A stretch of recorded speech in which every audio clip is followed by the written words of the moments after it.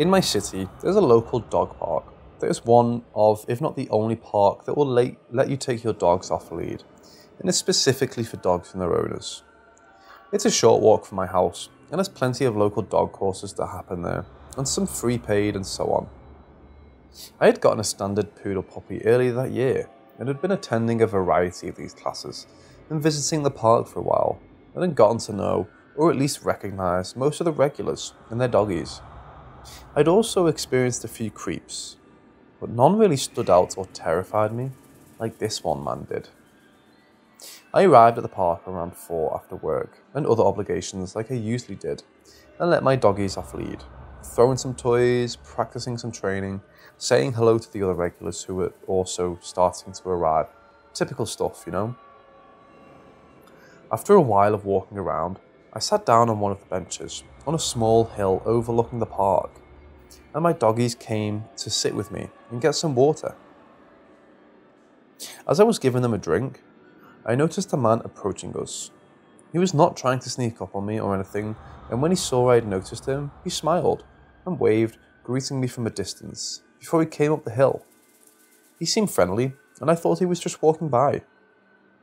Plenty of people cut through the park to the gates at the top to avoid taking the longer route around the block. One of my dogs, a collie named Belle, immediately started growling and barking at him. I dismissed this and shushed her because she's a rescue who was treated terribly by her last owners, and this is usually how she reacts to anyone she doesn't know. But rather than go quiet at my command like she usually does, she just transferred to a low growl. The man finally came up to where I was sitting but rather than continue past, he stopped and started talking to me.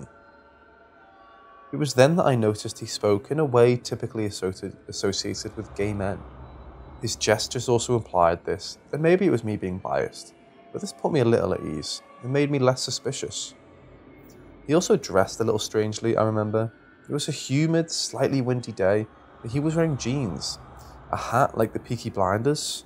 Don't know how else to describe it, sorry a large trench coat with what looked like layers underneath, and a coloured scarf. He looked professional and well put together with an expensive watch and shoes to boot. At least I assume expensive from what I saw. He greeted me politely and complimented my dogs, and I returned his niceties, still wondering what he may have wanted. He then said that he had seen a dog by the entrance to the park, hadn't seen its owner anywhere, and was concerned. This immediately got more of my attention, and I asked him what kind of dog it was. Although I was not especially concerned, it is an off-lead dog park after all. Maybe it just wandered a little way, and its owner who was sitting on a bench or chatting to someone. The man explained it was a Maltese poodle, and he'd hung around a bit, but had not seen anyone tend to it. At that point, an older lady walking behind us with the doggies overheard and came over to ask about it as well. He explained what he had seen to her as well, while they were talking, I got up and left, partly to check on the unattended dog, but also to give my dog Belle some respite, as she hadn't stopped growling and was getting more agitated with the little group forming. Her and my poodle pup followed after me happily as I made my way, not bothering to look back, and went down to where the man said he'd seen the dog. I saw it and immediately relaxed. I recognised it and knew the owner of that dog wouldn't be far, and sure enough, when I glanced around, I spotted him climbing up the steps from the little parking lot of the park. He had a golf bag with him, which was mainly why he stood out enough for me to recognise him. He would let his dog out to run while he got his stuff, and then he would whack a few balls, which his little white puff would end up speed off to retrieve. It was honestly adorable. I then noticed the trench coat man appearing, and the woman he had been chatting to also arrived and they went over and chatted to the golf bag guy, who seemed to confirm to them the dog was his. Trenchcoat guy glanced around, and when he noticed me, he immediately came over and told me that the Maltese belonged to that man, and I said I know, and explained a bit about him. I figured that would be the end of the interaction, and I turned off with my pupper now playing with some other dogs, while Belle watched quietly a little away from me. But no, this guy followed, falling into a stride next to me and introducing himself. I responded politely but kept walking. He continued beside me now, suddenly chatting about how he was visiting from the Berg, which made sense why I had not seen him before, and talking about his family. He was gushing unprompted information at me, but I assumed he was just being friendly, or an open person. Honestly, something about him just didn't sit right with me. I had no idea what. No reason to be suspicious, and tried to be polite, which is why I didn't just tell him to F off, hoping he would put it together by my unenthused responses. He started asking me questions. How long had I lived in the area, or was I just visiting? Did I come to this park often? Was my family also in the area? I answered vaguely. Just because he was coughing up his life story didn't mean I had to. My vague answers made him back off a bit, and he began gushing about himself again, telling me how his family were renting a house nearby and going so far as to give me the actual address before asking me, Where do you live? I'm not stupid enough to give my address out to random strangers, so I just said I lived in the area and had been there a while. His response was silence, and when I looked at him, he was just staring at me. It gave me the creeps. However, my gut started to twist a bit when he began again, more about himself, followed by more probing questions about my life and details about where I lived. He was so casual and smooth about it, I was really questioning myself for having such paranoid feelings. But I definitely felt uncomfortable and made an excuse of needing to check on my dogs to literally run away from the man. And it worked for about three minutes. Until, as I straightened up from petting my puppy and calling Belle over, I turned to see him right next to me again. That friendly, disarming smile on his face again. He complimented me on my dog and said he was sorry to bug me again. He said he hadn't seen a poodle before and asked to get my fluffy little pup. I was hesitant, but he was so smooth seemingly kind and polite, I couldn't think of an excuse and said yes. He bent down to pet him and started asking me questions about him while littering in some compliments. It was disarming and made me feel a little bad. Maybe he wasn't such a creep. Maybe I was being paranoid.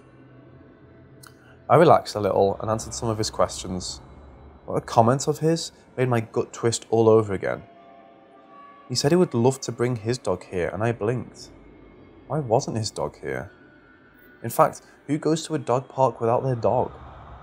My brain tried to justify it, but I froze a little as a wave of unprompted unease washed over me. I called Belle again as the man stood from petting my pup, and I scooped him up and took out Belle's lead. She came over, but when she noticed the man beside me, she lowered her head and hunched up her body, growling lowly as she did a half circle around us and to the left of me. I agreed with her at that point. This guy put a perfect front, but something about him was off, and my gut was telling me to leave. I walked up to her, hooked her up, and told him I was leaving, and promptly strode off. I felt much better, but as I was walking, Belle was acting funny and twisting around. I refused to look back, assured her verbally, and powered forward until I got to the stairs. Belle suddenly began growling again, and it felt like a cold, hard ball had dropped into my gut when Trenchcoat Guy fell in steps beside me, going down the stairs. He didn't say a word, and my brain tried to justify it as him just happening to leave at the same time as me, while my instinct screamed at me to get as far as fucking could from this man as soon as possible. Whatever part of my brain had tried to justify the man leaving with me went dead quiet when Trenchcoat Man proceeded to follow me through the parking lot to my car. I panicked and finally broke into a run. Scrambling to get out my keys, I could hear his steps speeding up behind me. I leapt to my car and popped Belle and my pup in, glancing up to see Trenchcoat Guy now walking up to me and blocking my exit. The smile was gone from his face, and I was screaming to get into my car with my, when my hero, a true gift from above, intervened. Trenchcoat guy froze when my hero, car guard who had rounded the corner after us, and who must have noticed me running away from this creep, yelled out at him. He jogged up to us and put himself between me and the trenchcoat guy, who backed up and donned that smile again. That seemingly kind and innocent smile that now sent shivers through me. I wasted no time leaping into the seat of my car, still in full panic mode, and speeding out there, while Trenchcoat Guy and the car guard seemed to be arguing. I wasn't going to stick around. I practically left flaming tyre tracks as I sped off and home, cold ball in my stomach, growing heavier and heavier as I went over my interactions with the guy. Speaking like a gay man to make me feel at ease, seeming to be worried about a lost dog to endear himself to me, willingly offering up personal information about himself to try and get me to open up to him, the probing questions, his overly friendly and smooth demeanour, his strange clothes, my precious Belle's continued unease around the man, using my politeness to continue to stick around me, and finally, my gut instinct telling me something was off from almost the start. Whoever that man was, he was a predator, and worse, he had been so discreet and subtle, he had made me question my instincts about him from the start. I had encountered plenty of flat out creeps, some of which had attempted to follow me home, but this man, and how he acted, filled me with an unfathomed sense of fear. He was unassuming, cunning, and intelligent in his approach, which showed a carefully thought out plan to get me or other women this made that man by far the most terrifying creep I have ever encountered, and it was months before I felt comfortable enough to go back to the park, now armed with a taser and pepper spray. The only upside in all this, the car guard who had intervened was there when I went back and approached me. I thanked him repeatedly, and he took my hand and said if I ever felt unsafe, he would have my back, and I was to come to him or his colleagues if anything like that ever happened again. I would be lying if I said I hadn't cried a little. That man saved me, and he was alert enough to notice my distress. He helped me feel more secure going back to the park, and I loved that was almost entirely ruined by Trenchcoat Guy.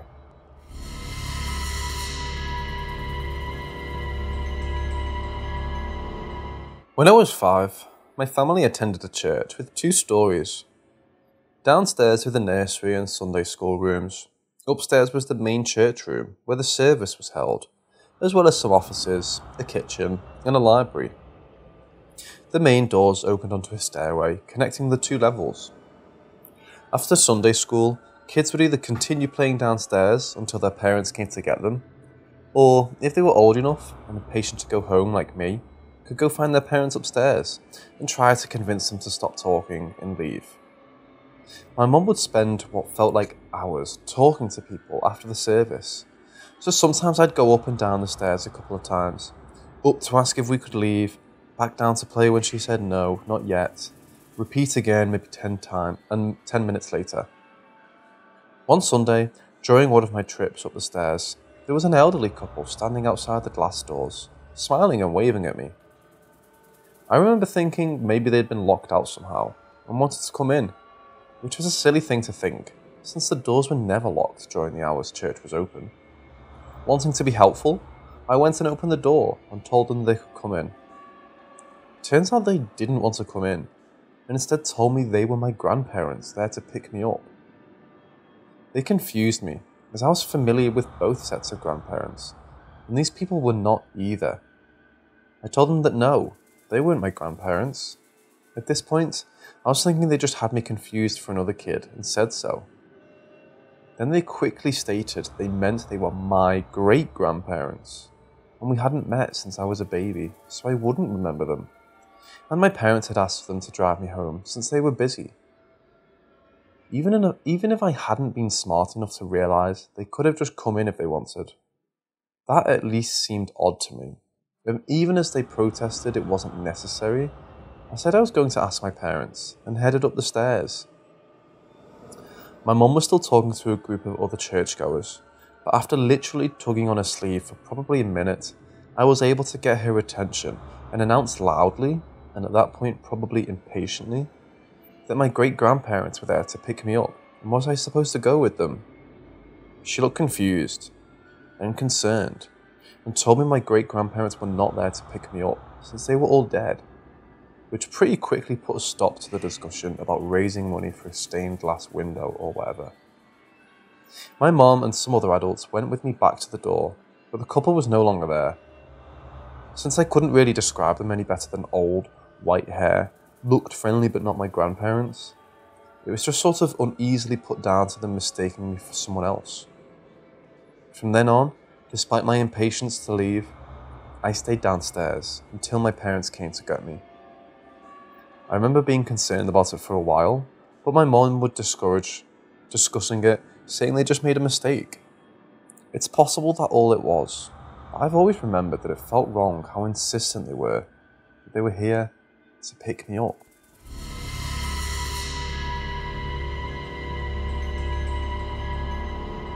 So we, boyfriend and I, moved to this place about three years ago, and one day, not long after, I was parking in the street parking, not assigned, directly in front of the building, and our unit, and I heard a guy in his car say something along the lines of, fucking bitch, get out of my parking spot. I later realised it was my neighbour who lives with his parents next door.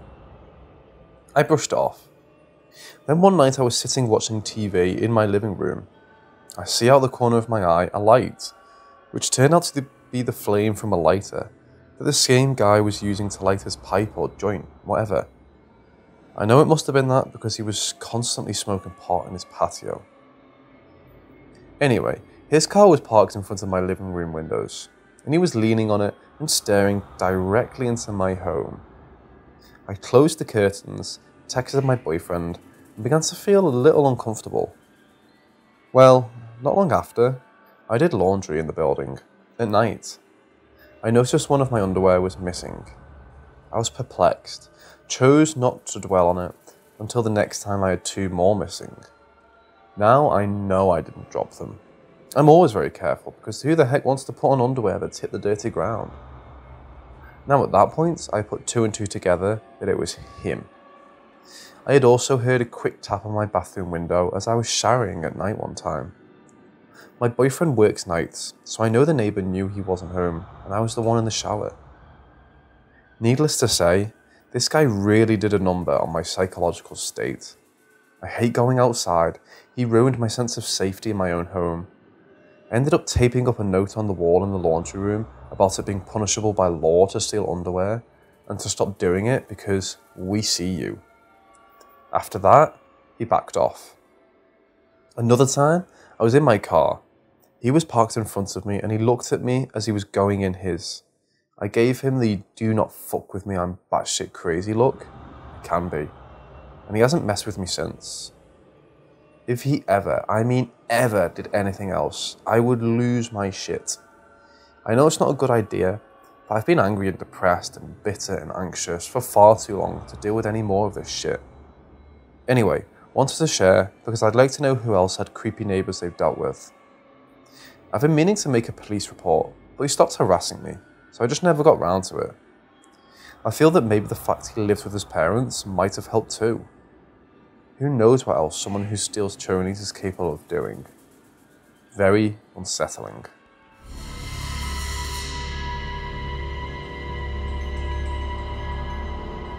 I'm a 22 year old female from Ohio and I'm currently staying at a hotel with my dad in Maryland. Our hotel is connected to another hotel, and the parking lot is pretty vast. My dad and I got into a major argument, so I left our room and went for a walk around the parking lot. This was around around 11:30 p.m. and I was wearing all black. I walked to the hotel next to ours and walk up a bit of an incline and sit in this parking area. It's a bit of a ways away from the hotel but it's closer to a main road. The road isn't the busiest, but busy enough, and past the road is nothing but thick trees. I'm sitting behind a shipping container or crate, not exactly sure what it is, but it was huge, way bigger than a dumpster, and my back is facing the little road that leads to the exit of the parking lot. I pull out half a blunt and start smoking it and decide to FaceTime my mom to talk about the fight. As I'm sitting there, a truck passes and I peek over my shoulder and watch it exit onto the main road. I continue talking to my mom when this car with all tinted windows drives up from the hotel to the exit, but I hear its engine is behind me for longer than the truck, and when I peek over my shoulder, I see it's now reversing. I think, hmm, maybe they're going back to the hotel to get something. So I continue talking to my mom, and this car reverses so much, it feels like it's on my shoulder, and it parks there right behind me. Like I'm literally breathing in the exhaust. I start telling my mom how annoyed I am that this person could have picked anywhere to park, but of course they had to park right behind me. So she tells me to move, and I decide to pack up my things in my backpack and move to the opposite corner of the parking lot. Now, my back is facing the main road, and I'm keeping an eye and safe distance between me and the car. I continue talking to my mom, when I hear the car door being slammed loudly, to the point where it scared me, making me jump a few times. The car sat there for maybe a total of 10 minutes, and I heard the door being slammed about four times.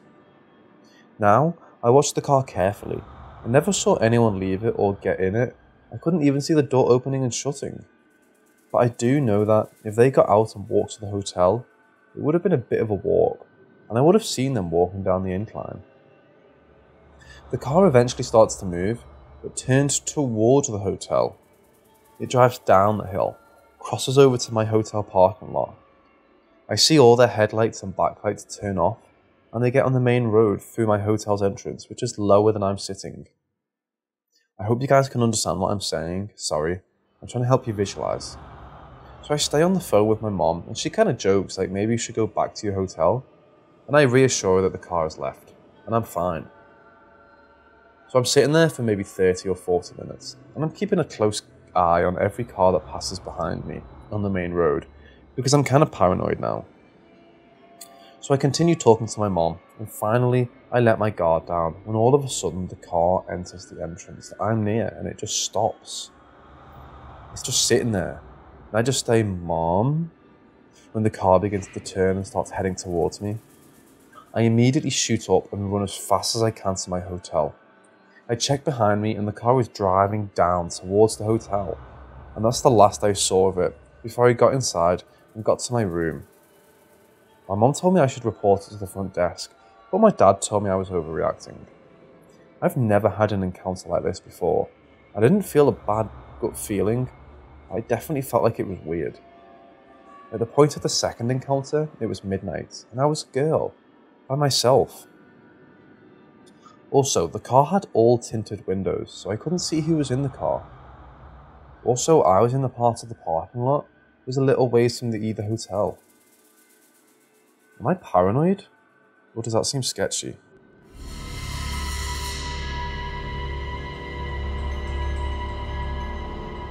I'll start by saying this happened to me over a decade ago now, but it's one of the creepiest encounters I've had in my life. The creepy person of this story is M. M joined my elementary school late in the year, had come from a different school, and was held back a year, so older than the rest of us. I always liked hanging out with him, but he turned mean all the time, without reason. One time, he burned garbage on my porch, and another time, he took my pet rat and ran away with her. Me and my friend, who both had rats, were together at a park and letting our rats play. It was terrifying, not knowing what he was doing to do with her. He ended up throwing her into a tree, and I found her, and she was fine. I stayed away from him after that incident. Fast forward six or seven years, and I bump into M randomly at 5am at an employment service building. He seemed much nicer, and we exchanged numbers, and he ended up coming over that afternoon. We hung out, and a girlfriend of mine came over, and we smoked a little. No chemistry, just friends. Everything was fine, until it got late, and he asked if he could spend the night. At the time, I was only 19, recently single, and living by myself for the first time. My friend lived two minutes away, so she never stayed over. I would be alone. I wasn't into him and didn't want to give him that impression, so I said no. He told me he didn't have anywhere to go and that his mom had kicked him out. I felt really on the spot, but I stood my ground and said no, even though he was practically begging me. He asked if he could borrow my phone, which at the time was a house phone, to call his mom and asked if he could come back for the night. He used the phone and had an argument with his mom, apologising and begging to come back. Suddenly, I heard, very faintly on the other end, The line you have reached is not in service. Please hang up and try your call again. This is a recording. Repeating over and over.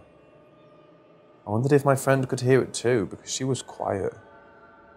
Suddenly, the line did that awful loud eh, eh, eh, sound, saying after you've stayed on a disconnected line for too long.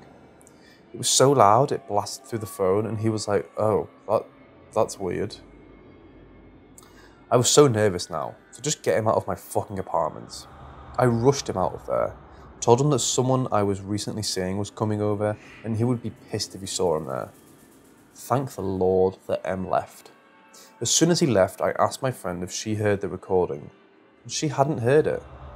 She didn't feel any of the nervousness I did. M called me so many times after that and messaged me on F Facebook years later when that was a thing. I just blocked him. This isn't as creepy as some of the stories on here, but I'm just so glad I got him out. Because with this ingrained violent personality and the lying to sleep in my apartment, who knows what could have happened? What a slime ball.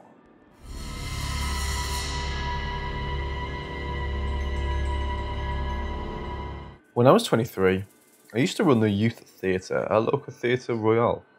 It was an old, old building, from the Georgian period at least, Baroque, 1700s, etc. It was beautiful.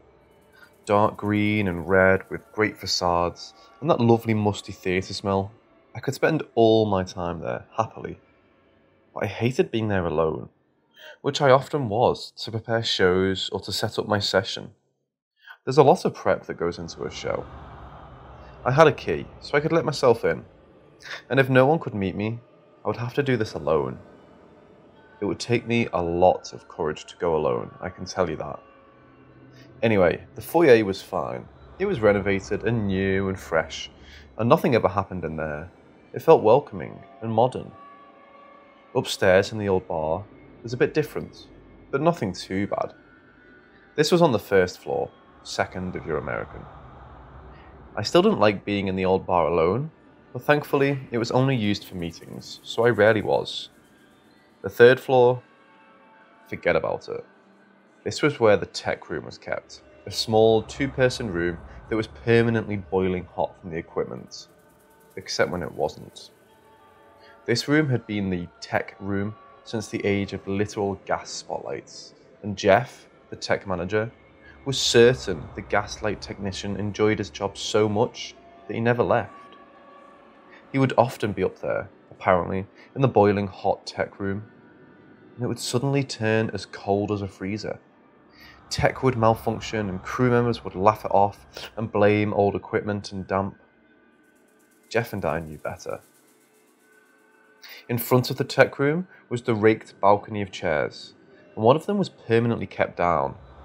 This chair, right in front of where Jeff looked out to see the stage whilst doing his job during a show, was reserved for Abigail. It was taken as read that if that chair was ever up, Abigail would mess with the theatre. Even the cleaners left that chair down, and it permanently had a reserved sign taped to it. Someone once said a theatre is not a theatre without ghosts. I don't know what it is about them. Perhaps the intense range of emotions actors have to portray and audiences feel create a spiritual vacuum Almost every theatre has at least one ghost. Theatre Royal had at least three, and not all of them were as friendly as Abigail. So when going around and setting up, I had to walk through the auditorium to get to the dressing rooms and the rehearsal rooms, etc. Even with all the lights on, it was always just dim and cold. I always had an overwhelming feeling when walking through the backstage area that I shouldn't turn around and look up to the balcony. Abigail was waiting. I would sing loudly to keep myself calm. All the show tunes I could think of. I'm not a great singer, thanks to larynx polyps, but it was enough to keep me calm. I was usually so lost in my to do list that I could fight the overwhelming urge to look up at that seat. Then, one day, whilst painting the flats for our production of Wizard of Oz, I suddenly forgot all the words to Defying Gravity, my go to song for keeping calm. Before I knew what was happening, I had turned around and looked up at the balcony because I felt compelled to. I couldn't fight it anymore. It was like Abigail was calling to me.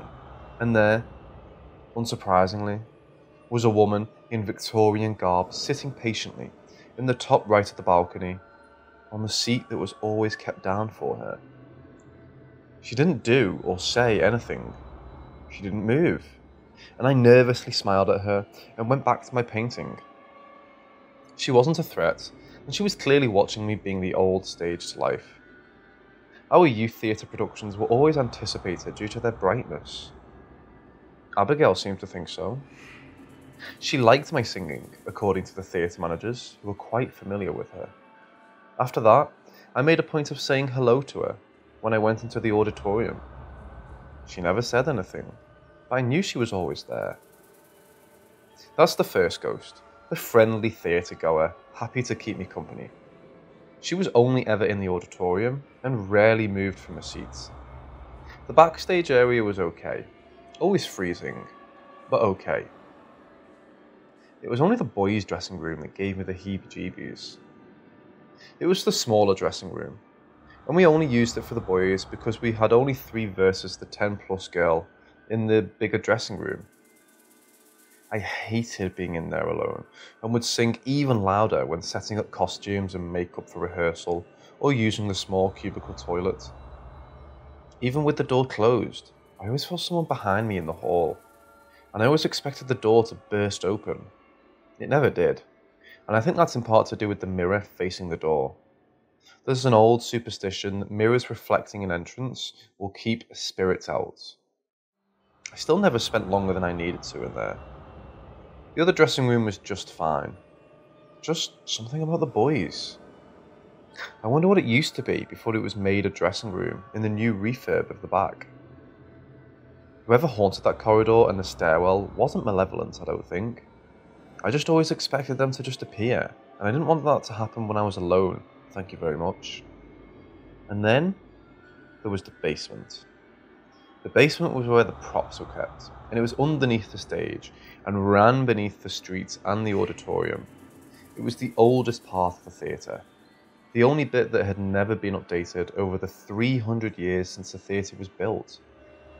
It was beyond unwelcoming. What is it about basements?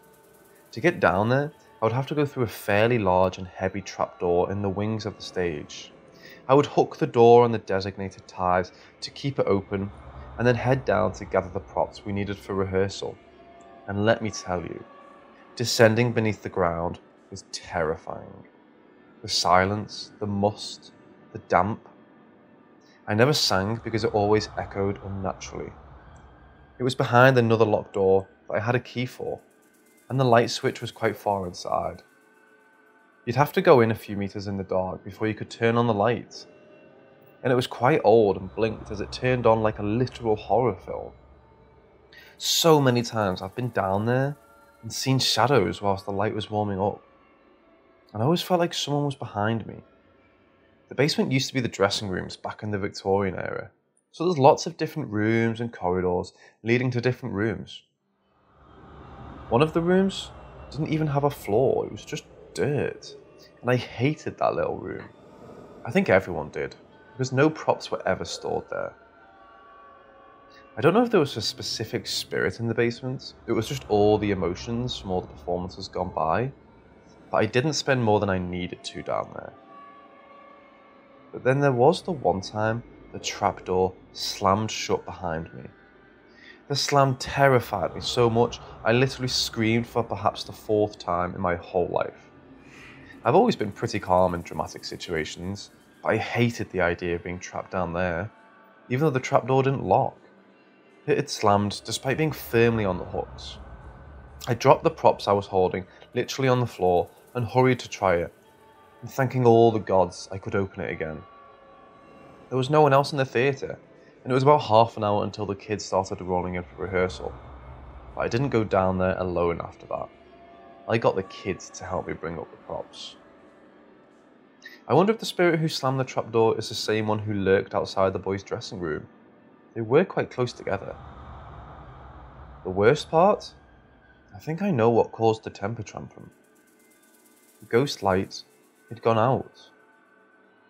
Those who have done drama or theatre their whole life will know most of the superstitions that come with the tradition, especially where theatre ghosts are involved.